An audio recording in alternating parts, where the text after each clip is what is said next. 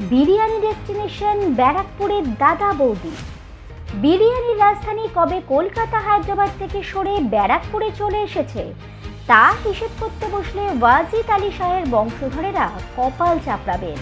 এর পাশাপাশি বাঙালি ব্যবসা করতে পারে না, এই কথাটা মিথ্যে করে দিয়েছে দাদা বৌদির বিরিয়ানি। এই দাদার বৌদি হলেন ব্যারাকপুর রেল স্টেশন সংলগ্ন আনন্দপুরী অঞ্চলের বাসিন্দা ধীরেন সাহা আর সন্ধ্যা সাহা। যখন থেকে দোকান করতেন মানে ওনাদের সেই ইয়ং বয়সে সে সময় দোকানদারি করতেন। ধরুন আজ থেকে চল্লিশ বছর কি তারও বেশি আগে থেকে লোকে দাদা বৌদি বলে ডাকতো।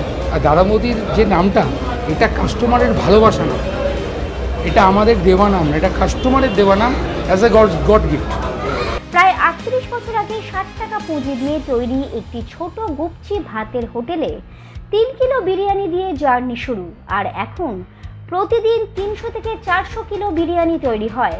তাও যোগান দিতে হিমশিম খাচ্ছেন তারা। পরিশ্রমে ওনাদের সাফল্যের মূল মন্ত্র। শীত, গ্রীষ্ম, বর্ষা উপেক্ষা করে লাইন থেকে প্রায় প্রতিদিনই। মাটন বিরিয়ানির প্লেট প্রতি তিনশো তিরিশ টাকা ও চিকেন বিরিয়ানি দুশো কুড়ি টাকা করে। সঙ্গে পাবেন কমপ্লিমেন্টারি স্যালাড মাটনে হাত দিলেই বুঝতে পারবেন কেন দাদা বৌদির এত নাম। মুখে দিলেই গলে যাবে মাংস।